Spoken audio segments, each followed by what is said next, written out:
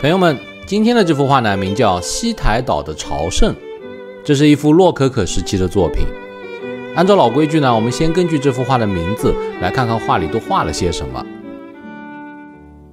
西台岛啊，传说是爱神维纳斯诞生后登陆的第一个岛屿。那加上空中飘着的小天使，不难猜出这是一幅和爱情有关的画。近处的三对男女分别刻画出了爱情的三个阶段，分别是花言巧语、动手动脚和生米煮成熟饭。通常呢，到了第三个阶段啊，女生呢都会回过头来怀念当年的海誓山盟。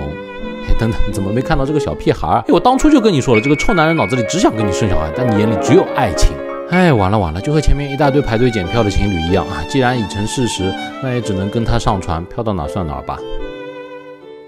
那以上呢都是我的个人理解，因为画家华托从来没有解释过这幅画，但他大概很喜欢这个题材，因为一年后又画了一幅差不多的。不同的呢，是他把原本残破不堪的维纳斯雕像修好了。那或许一年后，他觉得爱情也没想象中那么糟粕吧。那正因为华佗懒得解释，以至于我们都搞不清楚这幅画究竟画的是到西台岛呢，还是要去西台岛。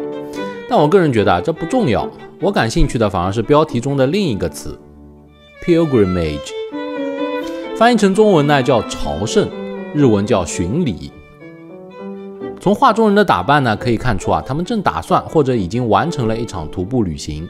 这种披着披肩、拿着手杖的打扮啊，就相当于十八世纪的冲锋衣吧。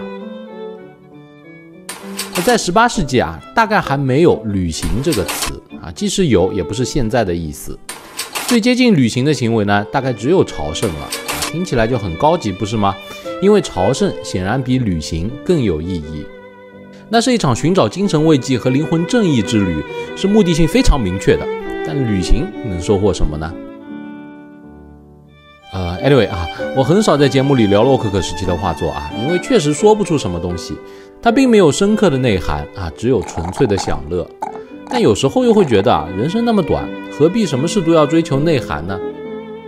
那只可惜，大部分人并不认同这种观点，大部分人会觉得没有意义的事情又何必做它呢？于是，毫无意义的洛可可在华托之后就被时代彻底淘汰了。那取而代之的呢，是更有教育意义的新古典主义。不过想想也对啊，享乐也是应该有个限度的。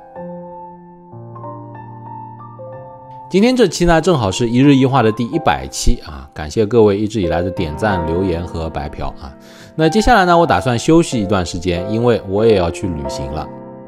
旅行期间呢，或许会更新一些当地的见闻啊，或许不会，主要看心情。毕竟对我来说，旅行的目的并不是为了分享，而是为了体验。好了啊，我是小顾，这是一日一画第三季的最后一集，后会有期，拜拜。